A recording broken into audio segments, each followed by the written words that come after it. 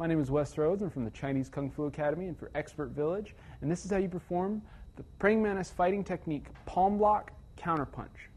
Now, this is a technique using the lead hand to block. When the opponent attacks, you're going to block with the left, drive in with the body, positioning the elbow in front of the hips, and driving the punch forward. An impact you can either hit like this, or you can reach out and twist the hand. So I'll show you once slow. It's going to look like this. So you can step to the side, and you can drive in either with the right foot, or you can quickly block and drive in with the left foot. Now to show you how it works, start in a fighting position. They step in, you punch, I block, and then I drive in, striking the lower body, just like that. Do one more slow.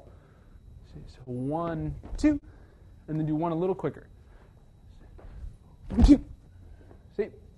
Now you can either drive this technique very strong and try to force them back, or you can do a quick shot to the ribs.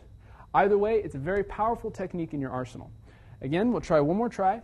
You can either do this technique driving the left leg forward, or you can put a little more power into it and drive the right leg forward. So you step, and then you can step through. That is the praying mantis technique, palm block, counterpunch.